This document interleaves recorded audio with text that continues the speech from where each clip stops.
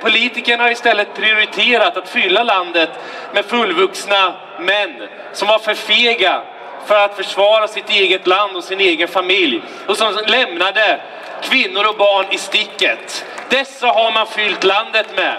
Och Sverige har idag inte plats för tiotusentals ukrainska flyktingar. Och det är ett direkt resultat av den politik som har förts i det här landet. Det är så verkligheten ser ut. Sverige har inte de möjligheterna. Vårt land är redan idag på bristningsgränsen. Och det gör att vi måste söka nya vägar idag för att hjälpa de som verkligen är nödlidande. För Sverige har inte möjligheten. Vi kan stödja Polen och Ungern, två fantastiskt framgångsrika länder som Alternativ för Sverige genom åren alltid har uttalat sitt stöd för. Och är det något sätt vi kan hjälpa till med, ja då är det naturligtvis att vi upprättar goda diplomatiska förbindelser och gott samarbete med våra vänner i Ungern och i Polen för att hjälpa dem i den här situationen. Det är en solidarisk handling från Sverige och det svenska folket.